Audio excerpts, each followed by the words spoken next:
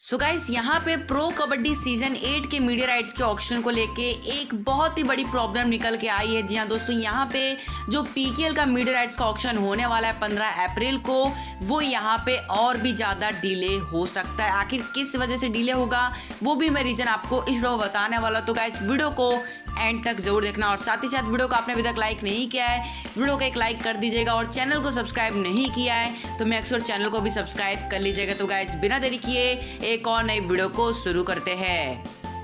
सो gas जैसे कि मैंने आप सभी का कहा था कि यहाँ पे आप इस चैनल पे आपको आईपीएल के टॉपिक पे भी वीडियोस देखने को मिलेगी। और जैसे कि मैंने आपको कहा तो यहाँ पे एक वीडियो अपलोड कर दिया है, जहाँ पे आप देख सकते हैं। तो गैस आप सभी से एक रिक्वेस्ट है, आपने वीडियो को नहीं देखा है तो आप जाके इस वीडियो के बाद वो वाले वीडियो को भी देख लीजिएगा आई बटन पे। एंड साथ ही साथ आपको डिस्क्रिप्शन में वीडियो का लिंक मिल जाएगा।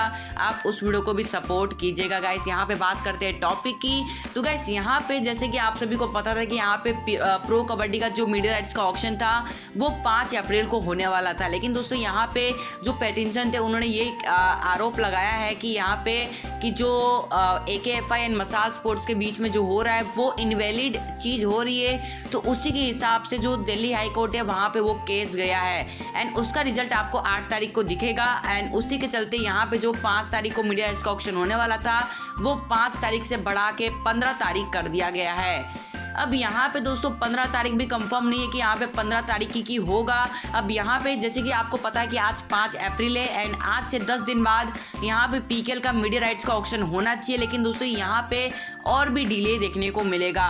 अब इसका मेन रीज़न है, वो है यही जो केस अभी हाई कोर्ट में गया है। अगर उसका रिज़ल्ट अच्छा आता है प्रो कबड्डी के तरफ़ जाता है तो यहाँ पे ऑप्शन में कोई दिक्कत होने वाला नहीं है। अगर बाई चांस जो पेटिशन ने आरोप लगाया वो सही साबित होता है तो यहाँ पे और भी ज़्यादा डिले हो सकता है प्रो कबड्डी के मीडिया राइट्स को ऑप्शन को। जी हाँ दोस्तों, पूरा डिपेंड है आठ तारीख के, यानी कि आठ तारीख को ही हमें कन्फर्मेशन पता चलेगा कि आखिर प्रो कबड्डी के लिए क्या मतलब की डेट्स होने वाली है। अगर अगर आठ तारीख को केस सही जाता है। पिटिशन जीत जाती है तो यहाँ पे दिक्कत ज़रूर होने वाली है प्रो कबड्डी का। एंड वहीं पे अगर प्रो कबड्डी जीत जाती है तो ऑफकोर्स पंद्रह तारीख होगी प्रो कबड्डी का मीडिया राइट्स का ऑप्शन होगा। देन यहाँ पे पंद्रह तारीख को मीडिया राइट्स का ऑप्शन अगर हो जाता है तो यहाँ पे हमको मई के पहले वीक में प्रो कबड्डी का ऑप्शन देखने को मिल जाएगा। एंड साथ ही साथ यहाँ पे और भी बहुत सारे जो स्टेप्स होते हैं, वो हमें देखने को मिलेंगे। अगर अदरवाइज़ अगर नहीं हुआ तो पंद्रह से पच्चीस तारीख भी हो सकता है पीकेएल के मिड राइट्स के ऑप्शन को लेके। कुछ कंफर्मेशन अभी तक नहीं निकल के आई है। अब बस हमें वेट करना है आठ तारीख का। आठ तारीख को हमें रिज़ल्ट पता चल जाए कि आखिर प्रो कबड्डी का जो कोर्ट पे जो केस गया है, उसका रिज़ल्ट क्या है।